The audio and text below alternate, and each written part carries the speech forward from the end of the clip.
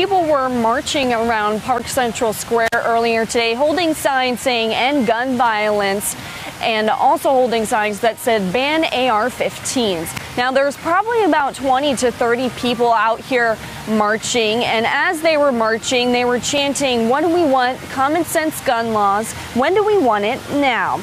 After everybody got done marching, they met back up in the square. The Springfield chapter of Moms Demand Action was one of the groups taking place here today. Many wore shirts which had Moms Demand Action for Gun Sense in America on the back. Now, I spoke to one man who says there actually needs to be more sensible gun laws here in Missouri.